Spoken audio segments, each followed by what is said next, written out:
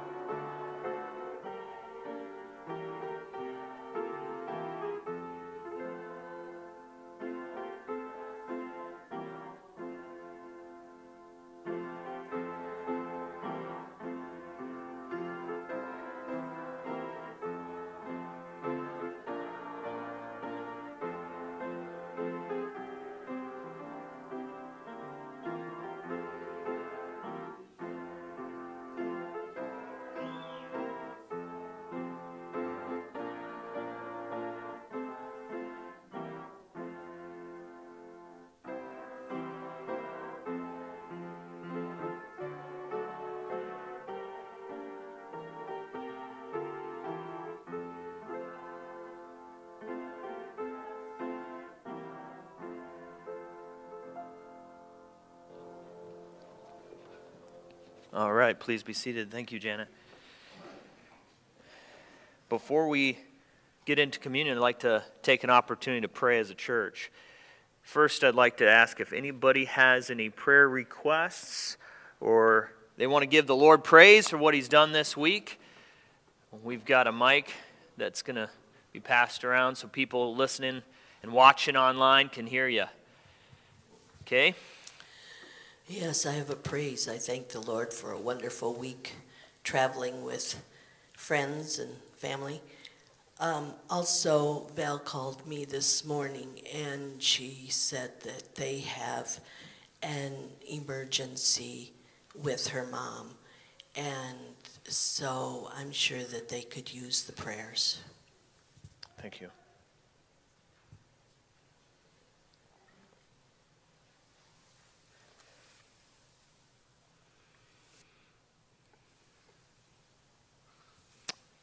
All right. Many of you, I'm sure, are wondering about Pete. I've actually had some of you come up to me and ask, How is he doing?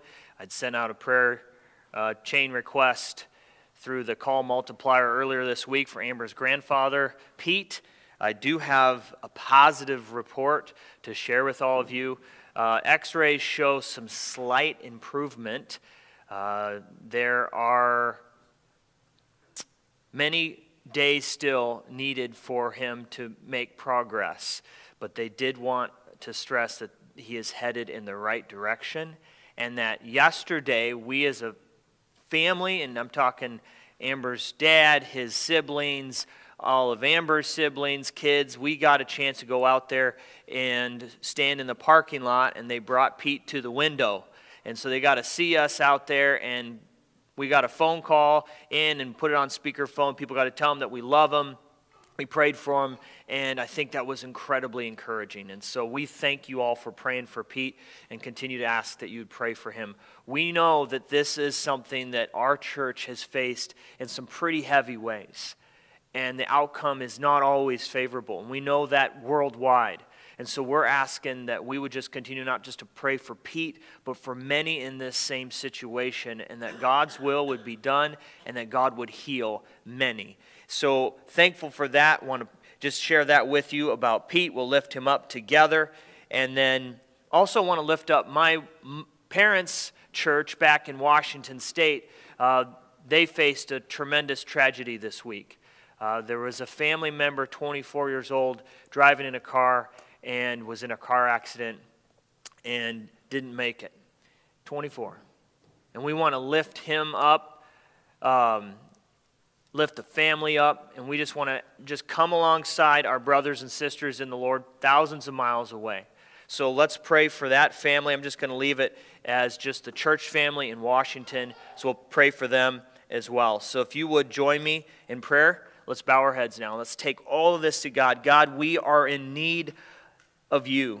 God, when we hear of things like the tragedy in Washington State and what that family is facing right now and the loss of that, that young life, God, we, I, I find myself at least at a loss for words. And we talked about it in Sunday school last week. Sometimes we go to you in prayer and we don't know what to say. And that's okay. God, you through your Holy Spirit, you speak to us, you provide us with peace and comfort, and God, you remind us that you are ultimately in control and that you will continue to bring peace and hope into this situation and into those family members' lives who love that boy. And we're asking God you would be with that church family and especially that family who lost that young man in a very special way. And God, we are asking that you would continue to be with Pete, that you would just give him the strong immune system that he needs to fight this infection in his lungs. And that he, God, would just continue to get better. We pray for that same outcome for many who are facing COVID and then the onslaught of, um, of pneumonia that seems to follow. God, we are praying for that. We're asking that you would heal and that you would move in power. And we're praying, God, that you'd comfort families who have not had the outcome that they were hoping for, and that you would remind them that you are there, that you are sovereign, that you love them, and that, God, you want that relationship with them all the same, and to, tr- and to have them trust in you all the same, even when things are difficult and hard to understand. And God, we're thankful for, for weeks like Kay said she had. We are thankful for those highs in our life, those wonderful weeks, God, with family and friends. When the weather seems to be nice, everything just seems to be going well. We're thankful for those times. And God, we pray for Val. Whatever the emergency is, whatever the situation is with mom, God, we are praying that you would move in the exact ways that they need. We're asking that you would remind us to continue to pray for her and for others in our church with needs. Lord, we love you and we lift these things up to you in Jesus' name. Amen. All right, so right now we are going to prepare for communion. I'm going to ask you guys, just as the uh, folks come forward that will be preparing the uh, communion elements, that we would just take time right now and reflect on what this practice is for. Communion is a beautiful time, isn't it? It's a time to be reminded of what God did, the promises that God fulfilled, and the fact that the God we serve keeps his word, right? God is a man of his word, so to speak, isn't he? He keeps his word, and we are thankful for that. And we're thankful for what Jesus has done. Without Jesus' you know, sacrifice on the cross, we'd all be in a world of trouble. Without Jesus rising from the dead, all of this would be meaningless, Paul says, right? In Corinthians. We are thankful for what Jesus did on the cross, for that atoning sacrifice, and of course, for the resurrection. So bear that in mind and also examine yourself. I'm going to examine myself, so I'm going to give us a second. Jen, if you just play some, some music without words um, and just give us a chance to reflect. Take a moment to reflect on what God's doing in your life, where maybe you need to have Him address some things. Let's take a moment together.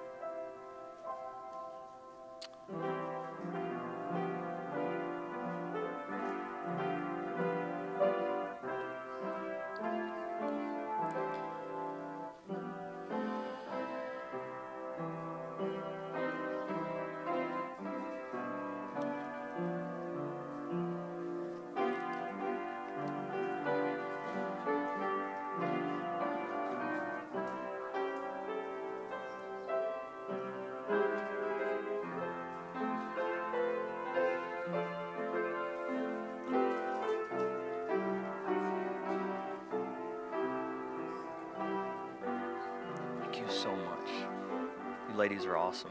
You got one, Margie?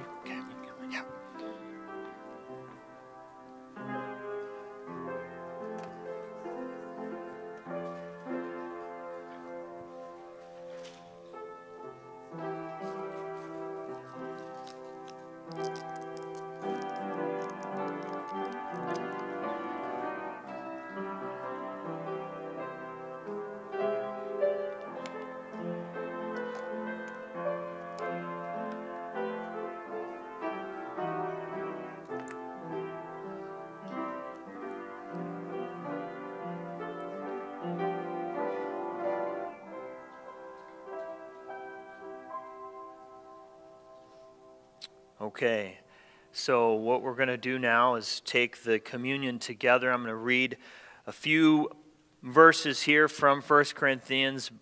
Paul says here, For I received from the Lord what I also handed on to you. That the Lord Jesus, on the night when he was betrayed, took a loaf of bread, and when he had given thanks, he broke it and said, This is my body that is for you. Do this in remembrance of me. Please take the bread, break it, and receive it.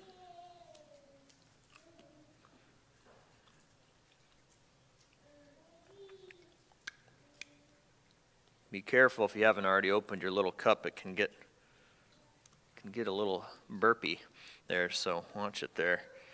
Verse 25, Paul says, In the same way, think about what Paul's saying here.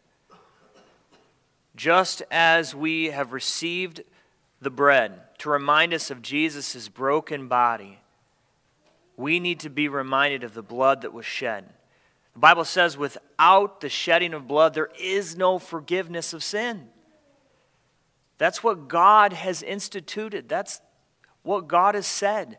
And so we are thankful. Verse 25 In the same way, he took the cup also after supper, saying, This cup is the new covenant, right? The new agreement in my blood.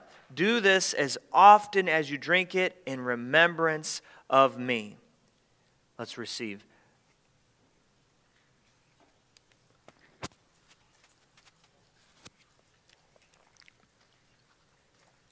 Paul says, For as often as you eat this bread and drink this cup, you proclaim the Lord's death until he comes. Praise God, you guys, for what God has done and what He is doing in our lives. I'm so thankful. Thank you. Thank you, ladies. Thank you, Janet. Here, I got you too. Got it. Oh, they took it again.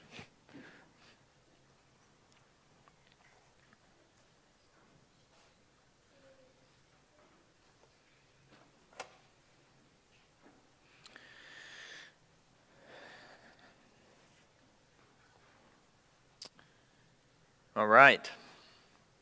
Always good to celebrate the Lord's Supper. Always good to be reminded of what God did and what He's continuing to do in our lives. I'm thankful, thankful for those reminders. Those are good, tangible reminders of what God has done and is doing in our lives. All right, so we are headed now to Mark's Gospel. And We've been in Mark's gospel for a little while now. And we've been studying through Mark's gospel and we've been describing it as just a portrait of Jesus. This is one picture of Jesus, one very three dimensional, in depth portrait of Jesus. And a while back, I mean, when we got started with Mark's gospel, I stated that Mark's gospel was certainly written to be read but more than that, it was, it was written to be orally presented. In fact, one of my New Testament books in seminary had many professors in it stating, and scholars stating in this book, that they feel like Mark's gospel, based on its quick pace, its uh, similarities to Greek theater, that it was certainly meant to be orally presented, right? It was intended to be dramatic narrative. In addition, I've also said that many scholars have noted that Mark's style of writing is often used in a unique way, and, and other gospel writers did this, and other you know writers in the Bible did this, but Mark certainly is known for his sandwiching technique. It's just this literary feature to help draw out points in his gospel. In fact, we looked at three examples last week. Really, three examples of this sandwiching technique. Three times Jesus predicted his suffering, his death, and his resurrection. There's our bread, right? Remember, we talk about a sandwich, you got to have some bread of some sort, even if you're you know, gluten free or whatever, you got to have some lettuce as your as your bread, something, right? So there, our first piece of bread in our sandwich is what? Jesus predicting his suffering, death, resurrection. There's the first piece. Then the filling is how did Jesus' disciples respond? Three different times when Jesus said, I'm going to suffer, die, and rise from the dead, the disciples responded with not understanding it. And in fact, they continue to look for ways to promote themselves and to be prideful. That's your filling of the sandwich three different times. And then we see Jesus responds. Here's our another piece of bread. Three different times, very patiently, with more teaching on the importance of serving others and being humble. Now, we talked about humility last week. We talked about what the Bible says humility should look like. Remember, biblical humility is not a call to be weak, it's not a call to be a doormat. Rather, biblical humility is first and foremost about recognizing our need for God. That's going to be all over the place in our message today as I draw out certain points. Jesus, right? Think about Jesus. He's God in the flesh. Has there ever been someone more powerful than Jesus here on this earth? I mean, think about that. There never was someone more powerful than Jesus before Jesus, and there's never going to be anyone more powerful after Jesus than Jesus. But how did Jesus use his power? How did he use his strength? How did he use his influence? In ways to help others, in ways to serve others, right? To teach in powerful ways, to do miracles that were, you know, helpful and, and beneficial in people's lives. Last week we looked at Jesus said, The Son of Man did not come to be served, but to serve and to give his life as a ransom for many, and we are to follow in Jesus' footsteps. So today, we're going to be going through Mark 11, verses 12 through 26, and we're going to see Mark once again utilizing that sandwiching technique to drive home his Holy Spirit inspired points and to accentuate the drama of his gospel narrative. In particular, we're going to see how Jesus was and is looking for people to exercise faith and produce fruit. We've talked about producing fruit here as a church, haven't we? When we talk about producing fruit, that's just a vivid way, an expressive way to say, hey, what are the actions of your lives producing? Good things, bad things, right? We all produce fruit it's either good fruit, tasty fruit, or fruit that's gone bad, right? And that's what the Bible says. We are supposed to produce good fruit. And so, this morning we're going to look at how Jesus taught and showed quite dramatically that God deeply desires for us to trust in Him, to cooperate with Him, so that we can produce good fruit. This is going to come out of the following passages that Mark intentionally sandwiches. First, let me put you, let me just, hey, Isaac, Isaac, look at this picture, buddy. Oh, how much you love peanut butter and jelly, buddy. Yeah, he's my PB&J man.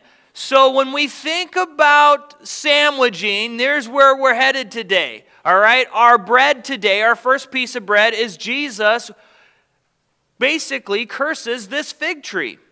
All right? There's your first piece of bread. The filling, our peanut butter and jelly, is Jesus going into the temple and clearing it out.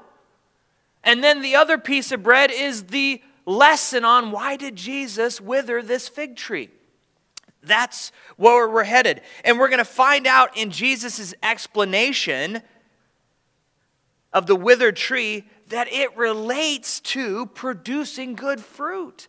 and having faith in God, which Jesus says in this lesson is necessary for a powerful prayer life. One more time. In order to produce good fruit, we got to have faith in God.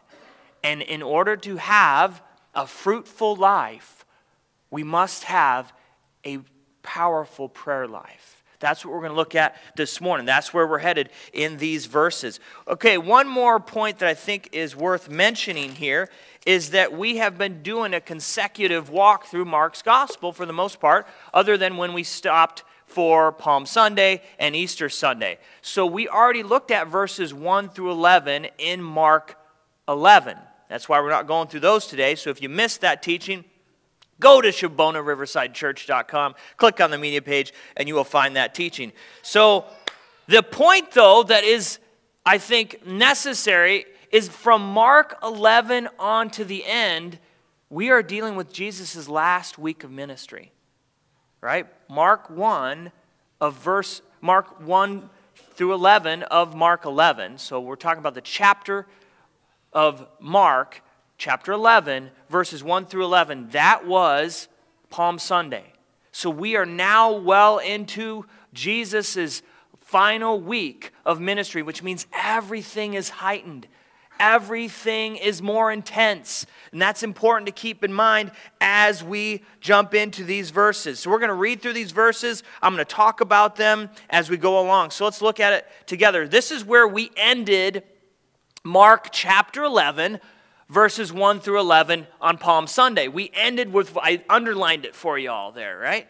Jesus entered Jerusalem and went into the temple courts. He looked around at everything, but since it was already late, he went out to Bethany with the 12. That's where we ended on Palm Sunday. Now we're back into Mark 11. This is a new day. This is Monday of Holy Week, if you will.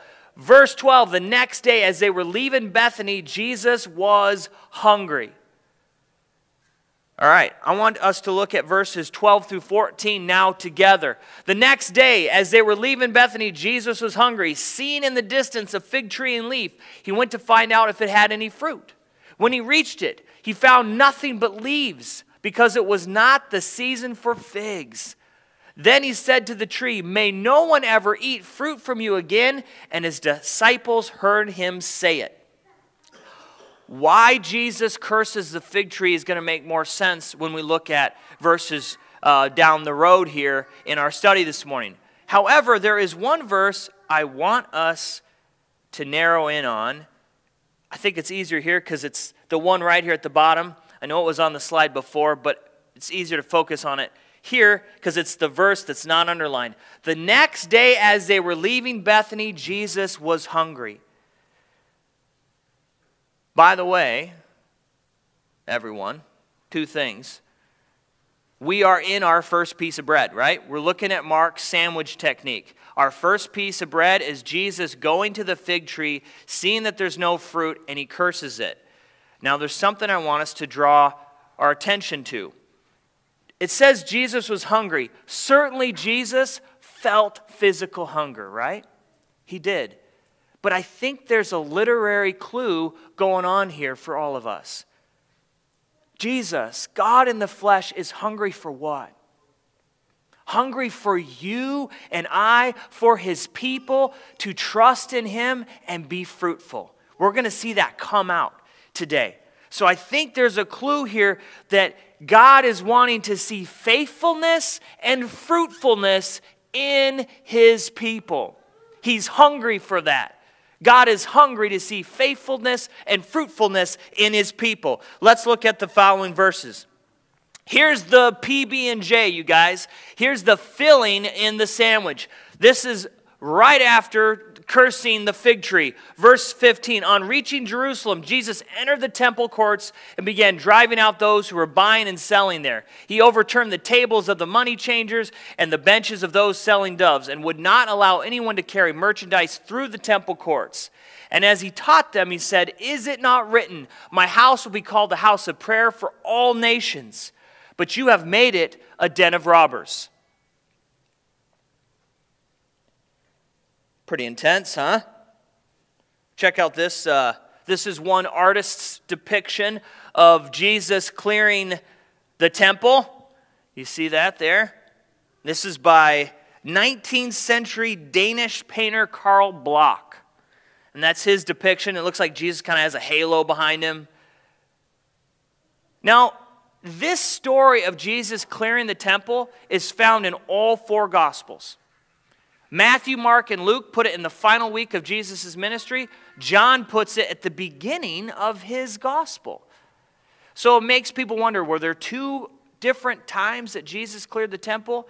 More than likely, John, whose gospel was the last to be written, he knew Matthew, Mark, and Luke were circulating. People knew the story. He put it in the front to make a theological point.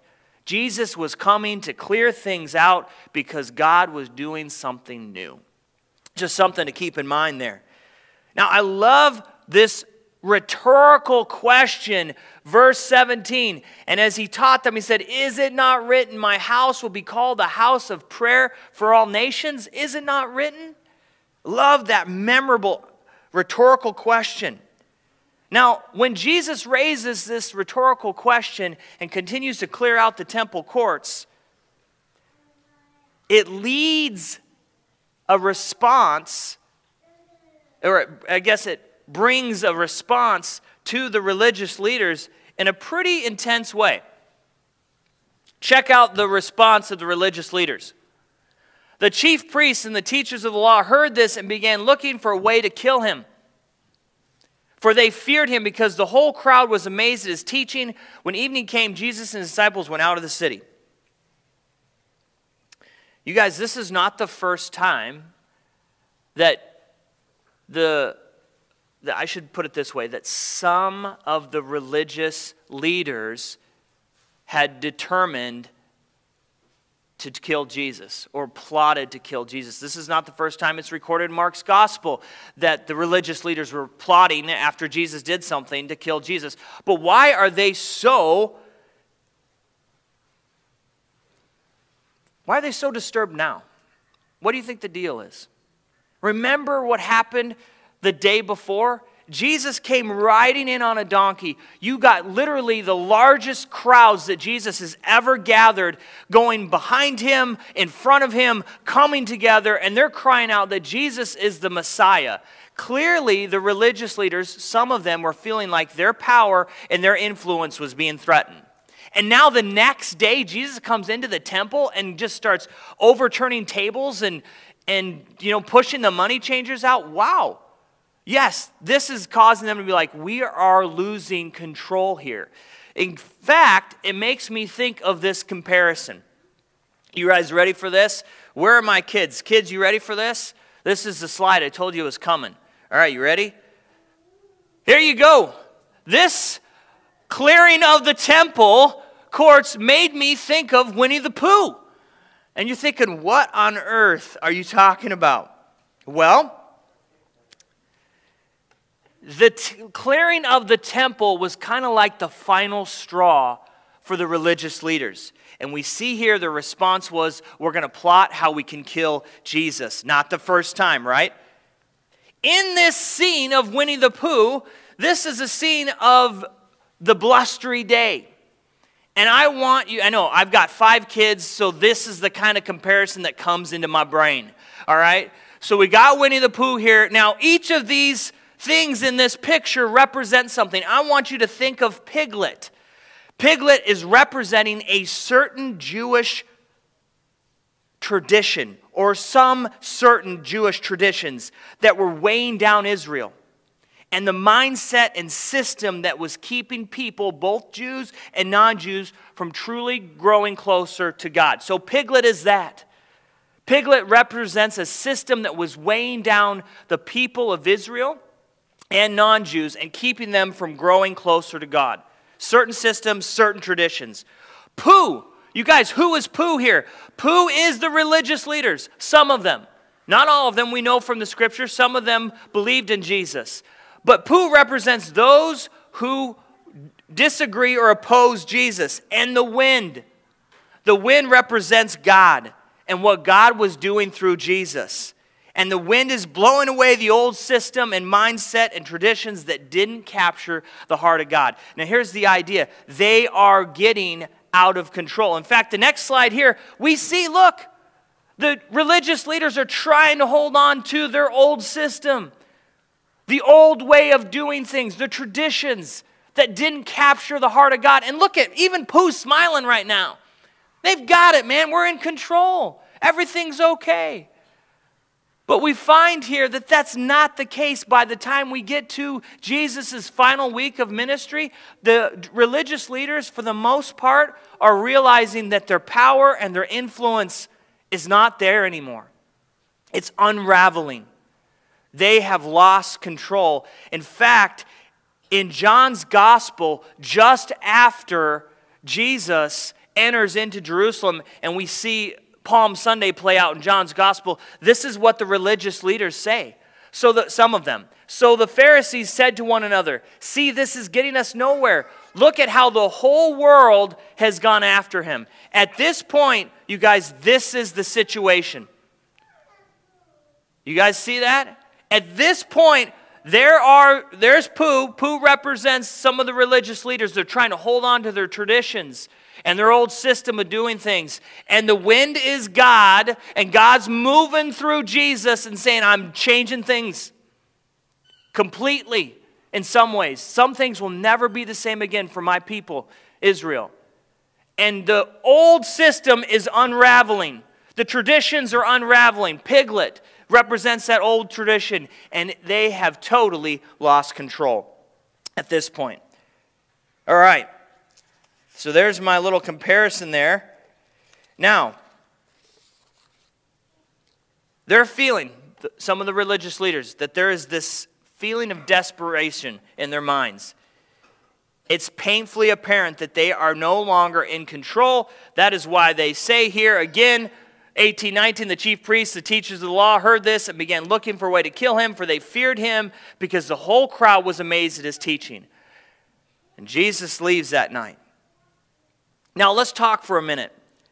Before I move on, let's talk for a minute about the two events that seem out of character for Jesus.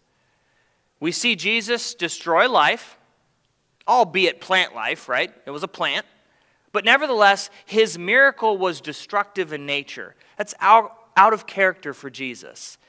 And then we see right after that, Jesus enters the temple courts in, in the Jerusalem temple and he clears the money changers and the, the people buying and selling. He clears them out and he's overturning tables. Very uncharacteristic of Jesus once again. Back to back, uncharacteristic events in the Gospels.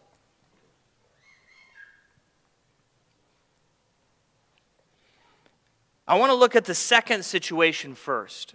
Okay, I want to look at our peanut butter and jelly a little bit more. Let me take you to this slide. So, everyone, I want to make sure you're all tracking here. Okay? Here's where we're at with things. We're in the middle. Our first piece of bread, Jesus curses the fig tree, right? Mark 11, 12 through 14. Now we're going to be talking about the filling. We're going to be talking first about the filling, then we're going to explain why Jesus cursed the fig tree. So, the filling, Jesus cleanses the temple. Out of character for Jesus. Why did he do it? We know it's connected here. Mark's making a point here with his sandwiching technique, but let's talk about why did Jesus clear the temple? Obviously, uh, anger is not always a sin, right? Anger is not always a sin, right? I hope you know that. Anger can be, a, can be righteous. It can be a righteous anger. In fact, Ephesians says, Be angry and do not sin. Ephesians teaches that. Be angry and do not sin. Of course, no one gets that right all the time. Anybody get that right all the time? Who here, who here gets that verse, be angry and do not sin, right all the time? Yeah, I definitely do not. And so we see here, though, that it reminds us that anger can be an emotion that is righteous, that is good. And God gets it right every time, all the time. And so we see when Jesus cleared the temple courts, his anger was justified. Let me ask you this question. You may just caught what I said. Where did these people set up shop to sell the required animals for the sacrifices? Where did Jesus clear them out of. Let me take you back there. One more slide back, I think. It says in verse 16, and he would not allow anyone to carry merchandise through the temple courts. What's the temple courts, and what was the purpose of the temple courts? Here's the significance the temple courts was the only space that Jews allowed non Jewish people to enter. I'm going to I'm to walk down here with my notes. I'm getting in my steps, I guess. You guys are going to track with me here. The temple courts. It was the only space that Jews allowed non Jewish people to enter. This is the spot, you guys, where non Jews could go in and engage in dialogue with Jewish teachers, with religious leaders. It was the only place where non Jews could go and learn about God and pray. This is the only place. And it had been overtaken by merchants. And apparently, some of them were robbers. So, this is the space, this is the place where the Jews had set up the money changers. Albeit not all of them, right? It's really easy, you guys, to make it seem that all Jewish leaders were not, were not doing what God's will was. That's not true. And I want to make sure we catch that. As I teach this, I want to make sure that I'm making it clear some of the Jewish leaders some of the religious leaders were not opposed to Jesus, but many were. And we see here, Jesus enters the temple courts. This is the only place, you guys, where non Jewish people could go and learn about God and understand what God's will is for their life, to engage in dialogue with the religious leaders, to actually pray and grow in their faith. And where were the money changers? Where were the, all the animals put for the necessary sacrifices? In the very spot where non Jewish people could go. That's why Jesus cleared the temple. That's why Jesus was indignant with what was going on in the temple courts. Basically, they had filled it with the money changers. They should have put it somewhere else, is what Jesus was saying. Remember, his response was, My house is a house of prayer for what? All nations, not just the Jewish nation. So Jesus is showing that God's anger is justified because God welcomes all people to learn about Him, to grow in their faith, and to be able to be in a place where they can pray and be connected to God. That's why Jesus cleared out the temple courts. It's important we understand why Jesus did that. So, with that, Well, let's go back to the fig tree, right? Our fig tree.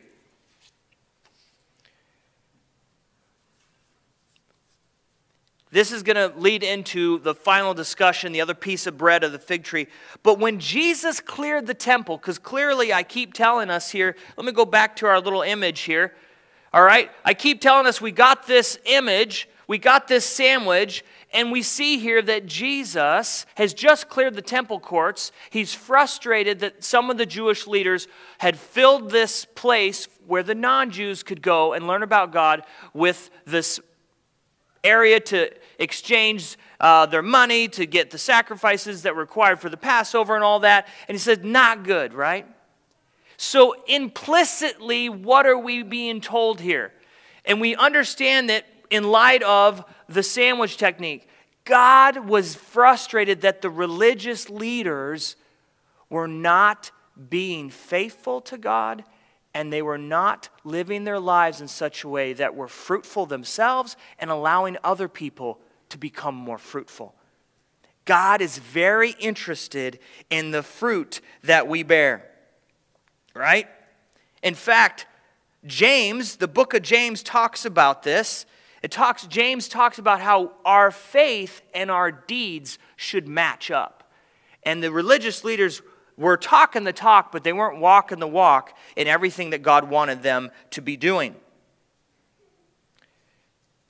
All right, so now let's move to our other section here. So Mark split this on purpose. We see here now, in the morning, now we're in the following day. We've just passed Monday, we're now into Tuesday, and now Jesus gives a lesson on why he cursed the fig tree. In the morning, as they went along, they saw the fig tree withered from the roots. Peter remembered and said, Jesus, Rabbi, look, the fig tree you cursed has withered. This is the other piece of bread, right? The withered fig tree. Now we're going to be talking about why did he do this? It's to drive home the point. Like I was saying, that we need, we need to be fruitful Christians. God was looking for his people, Israel, in particular, Israel's leaders, to be faithful and fruitful, right? To live their lives in ways that were good, live their lives in ways that God was pleased with. And they weren't, many of them. And so the fig tree was cursed, it was withered. It was meant to represent what was going on and what was going to happen. You see, God was saying, listen, if you're not fruitful, if you're not faithful, you will be basically finding yourselves set up on a shelf and no longer being used by God.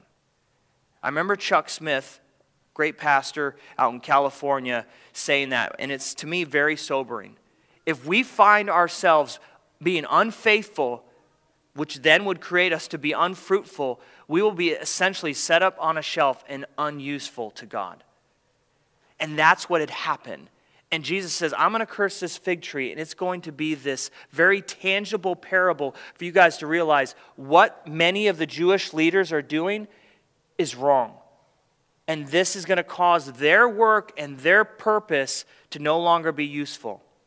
Now, of course, we know that from the Old Testament, everything was meant to be temporary until Jesus came. But what they were being told was that their usefulness was completely being dried up because they weren't accepting what Jesus was coming to prepare all of the nation of Israel, as well as all the nations in the world, to receive and to understand. Now, let's think about this. In this light, Israel's leaders had lost sight of their primary purpose of helping both Israel and non Jewish people grow in their faith. Their influence, their purpose was drying up and withering away. Now let's think about how is the Bible relevant to our lives? How does this matter for us today? How does this matter? Well, it certainly, I think, is a sobering reminder for pastors, for church leaders, for people who hold offices in the church. But it's also important for every single person who's influential in the church, whether they have a title or not. And guess what? That means all of us, right? Yes, it certainly is a sobering reminder for those with official church leadership titles, but we all have influence, right? John Maxwell, leadership guru. You know what he says about leadership? He says, Leadership is influence, nothing more, nothing less. And so when we see here, when we apply that thinking, then it's fair to say every person in the church has some level of influence. And are we, church, how are we, maybe I should put it this way, how are we using our influence? And let me just say right now, I'm proud of this church. Sometimes I think when a preacher preaches, people are like, man, he's drilling me. He's, dr- he's drilling this church. He's drilling us. You know what? I'm proud of this church. Because you know what I've heard in my short time of being with all of you? Is we're willing to do wherever, whatever, and we're willing to go wherever God directs us. We're willing to do what God is calling us to do. We will lay aside traditions. We will accept change, even though we know it will be hard, because we recognize that we want to do what God is calling this church to do. I have seen that Sometimes it's not articulated, sometimes it's just the posture many of you carry. But you guys are open to this. And that's what God is saying. He wants to see. What was the temple for, you guys? The temple was this temporary place that God had set up so people could go and learn about God. Are we church? Yes, I would say Shabbona is. So, this is a question we are calling churches everywhere. Churches, we need to keep the temple courts open, so to speak, don't we? We need to make sure that there is a seat ready for anyone who comes in from the outside, that they are welcomed, where they can learn about God, grow in their faith, and learn more about what it is like to follow Jesus. That's the call. That's how it's relevant today. It was a time in Israel's history where Jesus was coming and saying, Change is ready, change is ripe change is necessary. And certain religious leaders bucked that change. And when we as a church continue to say, God, direct us, lead us where you want us to go, we will be faithful. We want to see the temple courts open for whoever comes in our church and, of course, churches all over so that God's will can be done and people can grow in their faith and be fruitful. That's what we want to see. So, let's close with some final thoughts. Let me look at Mark. Let me just let me give you this quote. I love this quote by John Stott. Uh, John Stott was a theologian, pastor, well known uh, in the last century in particular for his commitment to the church and evangelism. John Stott says this The authority by which the Christian leader leads is not power, but love, not force, but example. Not coercion, but reasoned persuasion. Leaders have power, but power is safe only in the hands of those who humble themselves to serve. Remember, I want to make this connection as clear as I can. Jesus was cursing the fig tree, and the fig tree primarily represented the Jewish leaders that didn't understand that God said it was time for change, that God was doing something new. And Jesus came, as we celebrated communion this morning, God was starting to establish a new covenant with his people and all the people in the world that would believe. And certain Jewish leaders did not want to accept that change. And God said through Jesus in this teaching of this parable of the fig tree being uh, withered, your time is drying up.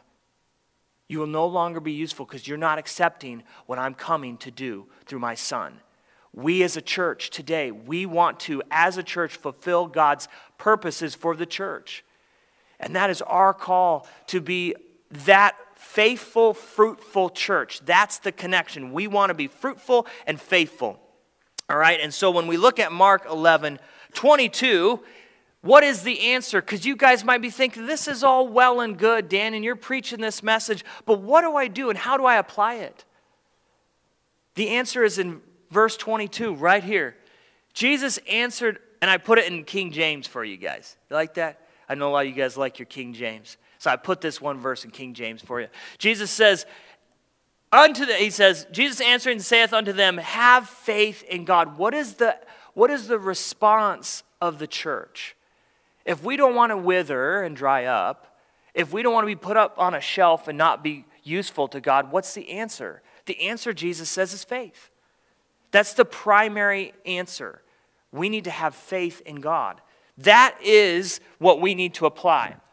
And so Jesus goes on to teach us this. Verse 23 Truly I tell you, if anyone says to this mountain, Go, throw yourself into the sea, and does not doubt in their heart, but believes that what they say will happen, it will be done for them.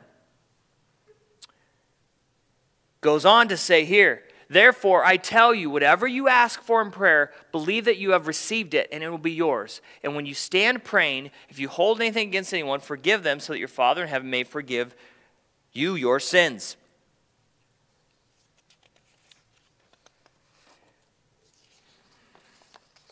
All right, so some final thoughts here. Two final thoughts as we close our time together on what Jesus just said.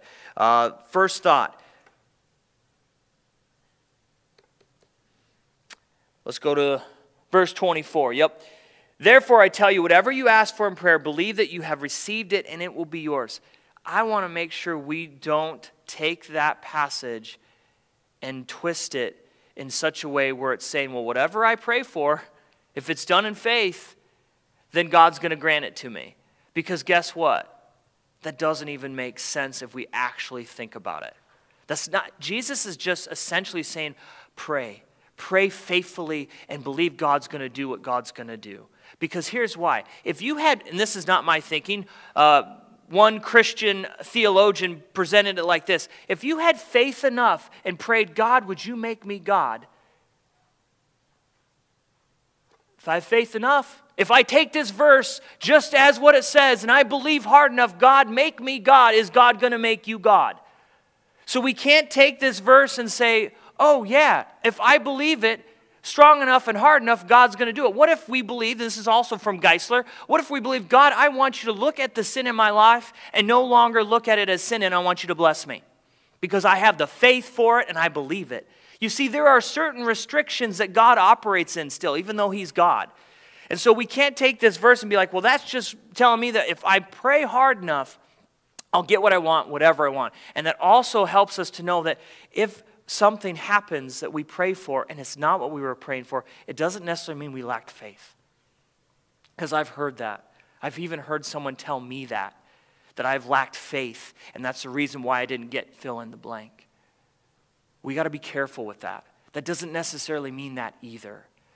We are just told we are to respond to God in faith and to be faithful in prayer. Remember Paul? Good old Paul the Apostle? He's a pretty faithful guy, wasn't he? Three times Paul asked for this pain to go away. He called it his thorn in his flesh, and it never did go away. So we can't say, well, Paul just didn't have faith enough. Certainly, Paul had faith.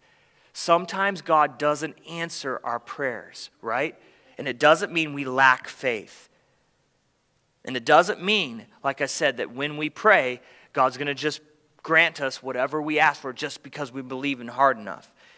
I like the way Geisler, who I've been uh, quoting here recently and referencing, put it prayer is not a means by which God serves us. Rather, it is a means by which we serve God. And I would add, prayer is this essential means to which we genuinely connect with Him and build a sincere relationship with Him. Which leads to my second point. You guys ready? Almost done here. Number two, a critical way godly, influential Christians develop a rock solid faith is through a healthy prayer life. I think that's what Jesus is getting at here. He says, have faith in God. How do we as a church go and be the church that God wants us to be in this community? We have faith. How do we exercise our faith? By prayer. Many of you know this. When you lift weights, right? When you lift weights, what happens to your muscles? Oh, hey, oh, buddy. So, what happens to our muscles? What happens to our muscles when we lift weights? Little, little tears, right? Little tears in our muscle fibers actually happen. But the response of our muscles is what? Because of that activity, the muscles get what? stronger, bigger. That's the idea of prayer. When we go to God and we pray, guess what our prayer life does? It tears down the thinking that we're the ones ultimately in control. It reminds us of who is ultimately in control. It breaks down that self centered thinking. It reminds us to think outside of our own world. It builds up our faith, it builds up the faith of others. That's what prayer does. And that's why Jesus is saying, Church, you need to pray. What is the response of a healthy church? In this case, what is the response of each individual that makes up the church? All of us have a level of influence in the church. And to be faithful, influential Christians in the church, to not be set up on a shelf and be deemed unuseful, the response is have faith have faith and pray a lot and believe that God is going to do what He's going to do. Remember, we go to God and we say, We trust that you know best. And in your sovereignty, we are going to come to you honestly about our desires and then rest in your sovereignty. Let's pray. Would you bow your heads with me? God, we just ask that you would remind us of those two truths. As we walk out of here and into kind of the uh, busyness of life and we get to our kind of day to day activities and our brain gets just inundated with a number of other things. Lord, help us to remember, keep it at the forefront of our minds. We are to walk in faith, that we are to be fruitful Christians, that help others to see that God, we are here to serve, that we are here to help people understand that there is a place for them in our church. And we pray that this is the same desire for churches all over the world, that people would see Christians as that connection to, hey, I want to come into your temple courts. I want to come and engage with you, and I want to come and learn about God and grow in faith. Help us, God, to be fruitful in those ways. And we ask, God, that you would bless our time. We pray, Lord, that you'd bless our fellowship. And we ask you, God, to just bless this congregation. And those watching online, bless them as well, Jesus. We love you. We pray these things in your name. Amen. Thank you guys for being here this morning. Looking forward to your time uh, together and looking forward to being a part of that fellowship. So, and, and looking forward to just connecting over brunch.